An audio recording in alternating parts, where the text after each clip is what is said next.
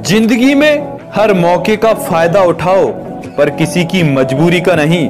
अगर ज़िंदगी मौका देती है तो धोखा भी देती है।